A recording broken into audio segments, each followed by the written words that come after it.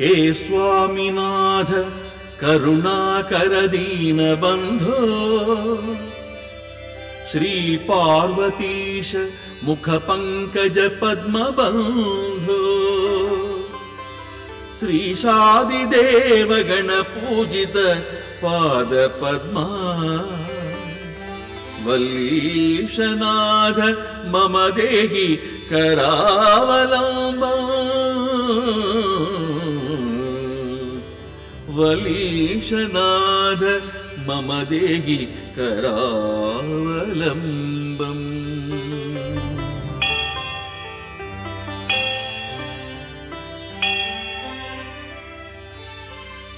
देवादिदेवनुत देवगणाधिनाथ।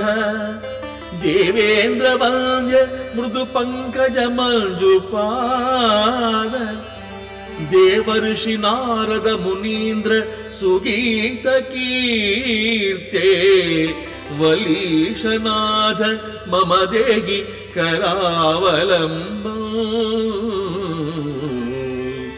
वल्लीशनाथ मम देहि करावलम्बम्।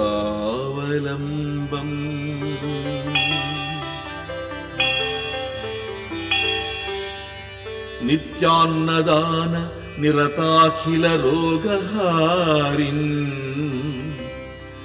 तस्मात् प्रदान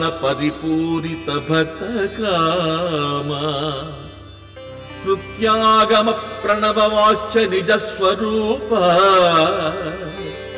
वल्लीशनाथ मम देहि करावलम्बो। वल्लीशनाथ मम देहि करावलम्बम्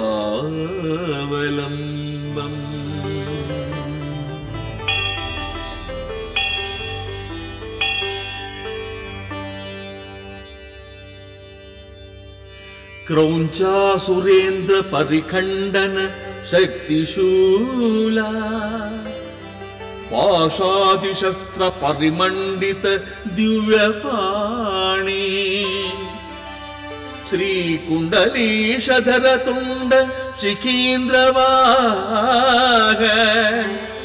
वलीशनाद मम देहि करावलम्बम् वल्लीशनाद मम देहि करावलम्बम्।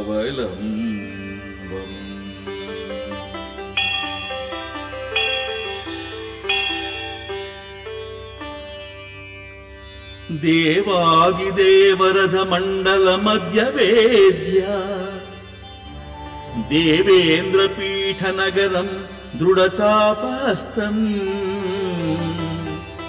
देवेन्द्रपीठनगरम् दृढचापहस्तम् शूरं निहत्य सुरकोटिभिरीड्यमानम्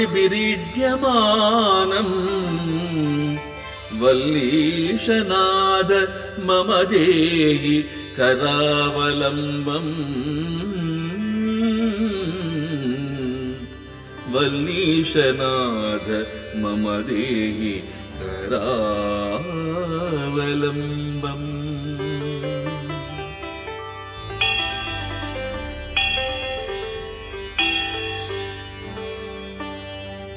कीरादिरत्न मणियुक्त किरीटहार केयूरकुण्डल लसत्कवचाभिरामा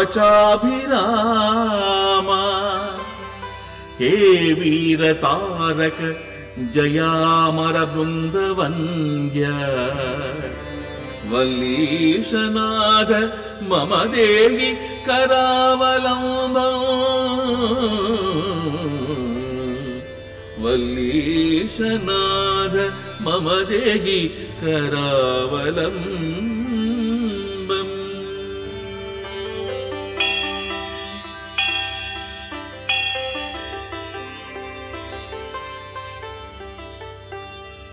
पञ्चाक्षरादिमनुमन्त्रितगाङ्गतोयैः पञ्चामृतैः प्रमुदितेन्द्रमुखैर्मुनीन्द्रैः पट्टाभिषिक्त हरियुक्त परासनाथ।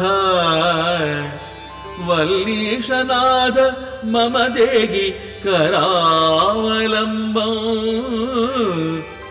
वल्लीशनाथ मम देहि करावलम्बम्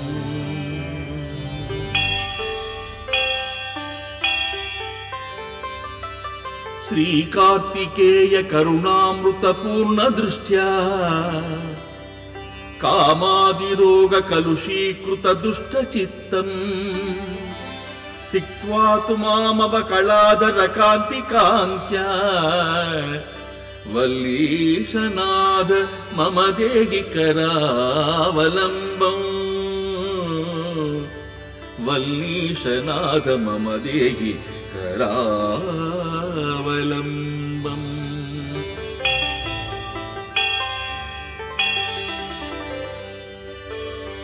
सुब्रह्मण्याष्टकम् पुण्यम् ये पठन्ति द्विजोत्तमाः। ते सर्वे मुक्तिमायान्ति सुब्रह्मण्यप्रसादतः। सुब्रह्मण्याष्टकमिदम् प्रातरुद्धाय पठेत् कोटिजन्मकृतम् पापम् तक्षणादेव नशति। तक्षणादेव नशति। इति श्रीसुब्रह्मण्याष्टकम् सम्पूर्णम्